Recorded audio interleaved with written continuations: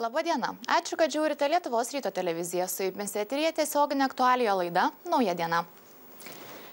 Šiandien paskelbta, kad Rusijos ginkluotosios pajėgos per pratybas Kaliningradė imitavo polimą brandolinį ginklą ginant, galinčiamis nešti raketomis. Gynybos ministerija Maskvoje praneša, kad apie šimtą karių imitavo mobilių balastinių raketų sistemų galinčių paleisti branduoliniais užtaisais ginkluotas raketas - elektroninį startą. Remianti šiais duomenimis, ginkluotosios pajėgos mokėsi atakuoti įsivaizduojamo priešo karinius taikinius bei reaguoti į atsakomą jų smūgį. Apie tai šiandien kalbame su karybos ir ginkluotės ekspertu Dariumi Antanaičiu. Labadiena. Sveiki. Taigi pradėkime nuo to, kaip apskritai vertinate tokias pratybas. Ar tai galima vardyti tam tikrų Rusijos strateginių žingsnių pagazdinti vakarų valstybės? Manau, laikas gazdinimo jau seniai baigėsi. Ir Rusija jau ir minėjo ir žadėjo, kad panaudos brandalinį ginklą prieš NATO arba ES valstybę. O šių laikinis bandymas arba pratybos, tai aš labiau siečiau su Suomija ir Švedija, arba dar tiksliau jų išreikštų norų tapti NATO valstybėmis.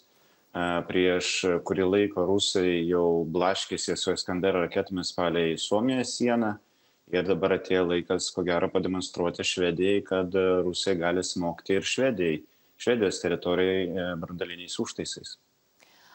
Pasigirsta svarstymų, kad ginklas brandolinis Kaliningrade yra jau seniai. Kaip Jūs manote, ar tai yra tiesa, ar tai laikytina tiesa ir ar yra ženklų rodančių, kad taip gali būti? aš neprieinu prie žvalgybos duomenų galiu tiktai vertinti iš viešų šaltinių tai mano galva ir logiškai skambant kad branduolinė ginkluotė ten privalo būti kadangi tai yra e, rusų toks e, ypatingai stipriai e, militarizuotas dalinys netgi aš nesakyčiau kad tai yra sritis kaliningrado tai visa sritis yra vienas didelis dalinys ir ten būtinai turi būti branduolinė ginkluotė tam, kad galėtų karo atveju pasiekti kuo toliau į Europą. Tai kad tenai būtų branduolinis ginklas, manau, tai skambėtų labai logiškai. Ar tokios pratybos gali signalizuoti na, ir didelį pavojų Lietuvai ir ar dėrėtų kažkaip ruoštis ir ar įmanoma apskritai pasiruošti tam? Brandolinis ginklas naudojamas tam, kad sunaikinti uh, vienu smūgiu pakankamai didelę infrastruktūrą arba karinius taikinius didelius. Smogti brandolinį ginklų Lietuvoje logikos nėra, nes jokių tikslų čia nelabai ką ir pasieksi. Netgi sunaikinus Vilnių ar kažkokią tai kitą strateginį objektą ar mažai naftą, tai taip pat logikos jokios nėra. Ir manau, šiuo atveju tai mes turim būti dėkingi, kad mes esame didelė ir palyginus provinciali valstybė, kuri nėra įdomi tiek uh, rusams, kad panaudotų brandolinį smūgį. Kaip manot, kiek iš tikrųjų yra realu, kad Rusija galbūt ryšis panaudoti brandolinį ginklą ir kas galbūt būtų pagrindinių jų taikinių? Ginklai gaminami ir ginklais apginkluojama kariuomenė tam, kad galima būtų tos ginklus panaudoti. Tai iš tos perspektyvos ir žiūrėkime kiek realu be abejo realu kad rusija panaudos branduolinį ginklą juolab e, pažiūrėkim kas vyksta ukrainoje ir pagalvokime kokia galėtų būti loginė išeitis iš iš to karo rusams praktiškai jokios apart to kad sukelti dar didesnį konfliktą ir kaip e, lavrovas rusijos užsienio reikalų ministras sakė kad jie nori nau, naujos pasaulio tvarkos, tai va ta nauja pasaulio tvarka ir būtų tokia, kur rusai nebūtų teisiami už karo nusikaltimus, nebūtų atsakingi uh, už e, sukeltą konfliktą, tai manau, rusai pastatė ant kortos labai daug ir to ginklo panaudojimas yra pakankamai realus, manau, bet tačiau tai yra asmeninė mano nuomonė. O taikiniai, manau, tai galėtų būti uh, kažkokia tai karinės įrangos sankaupas, pavyzdžiui, Lenkijoje. Tai galėtų būti didesnis uh, laivyno, kažkokia didesnė laivyno formuotė Baltijos jūroje. Uh, ir panašus takiniai. Tai yra tam, kad vienu ar dviem smūgiais galima būtų padaryti ypatingai milžinišką žalą NATO valstybėms. Oficialiai Rusija lyg ir teigia, kad brandolinio karo na, negalima kariauti, nes tokiu atveju karo laimėtojų nebūtų ir tai nėra paranku niekam. Visgi žvelgiant į tai, kas yra skelbiama Rusijos žiniasklaidai, kokia informacija yra pateikiama, matome, kad visuomenė tarsi ruošiama kad gali taip įvykti. Būtent tas žiniasklaidos toks informacijos rautas pateikiamas visuomeniai ar tai galima laikyti būtent, na, tarsi visuomenės sutaikymu, kad, na, pas, bandymu paruošti visuomenę, kad, na, taip gali įvykti? Gal aš nesakyčiau, kad Rusija yra žiniasklaida, vis dėlto Rusija yra propaganda, žiniasklaidos ten ko gero jau seniai nebėra.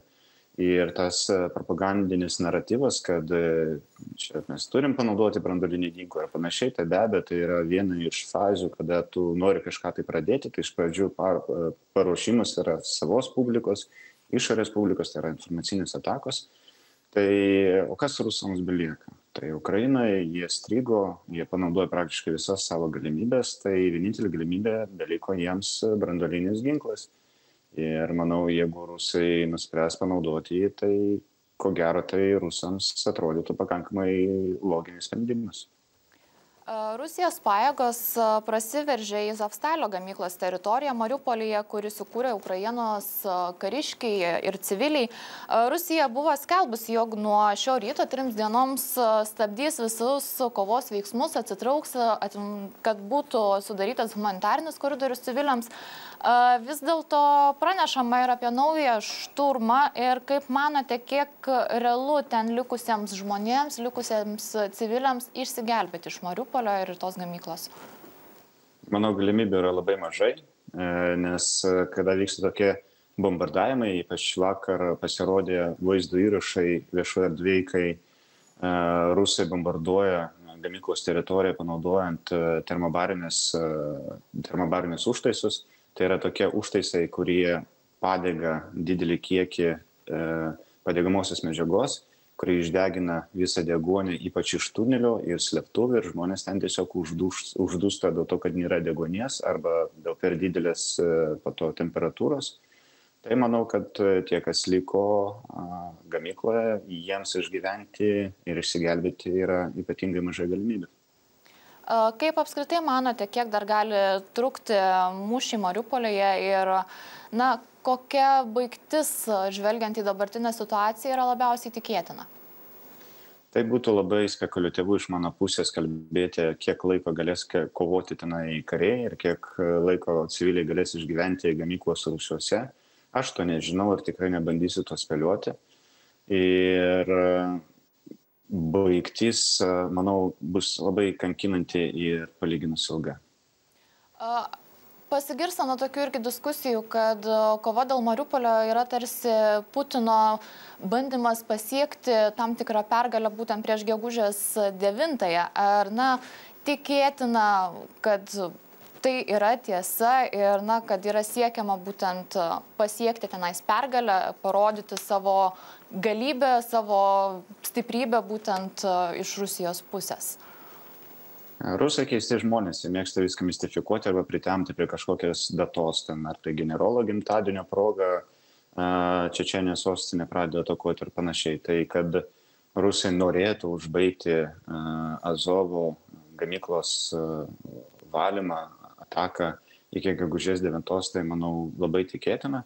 Tada Rusai galės paskelbti drąsiai, kad Azovo jūra yra e, vidinė Rusijos jūra ir kad Mariupolis e, arba e, sausumos koridorius į Krymą jau yra Rusijos rankose. Tai manau, tai pakankamai tikėtina. Matome pranešimus ir apie tai, kad Rusijos atakos sutrukdė Ukrainos traukinių eismą ir Ukrainos prezidento biuro vadovas sako, kad na, Rusija tai bando sugriauti šalies logistiką, bandoma tokiomis, tokiais būdais sustabdyti vakarų ginklų tiekimą Ukrainoje kiek dar tokių strateginių žingsnių Rusija gali žengti, ką dar gali susprogdinti, kur gali taiktis? Aš nežinau, kur yra logistinės bazės Ukrainoje, tačiau taikiniais tai būtent tos logistinės bazės ir sandėliai ir galėtų būti.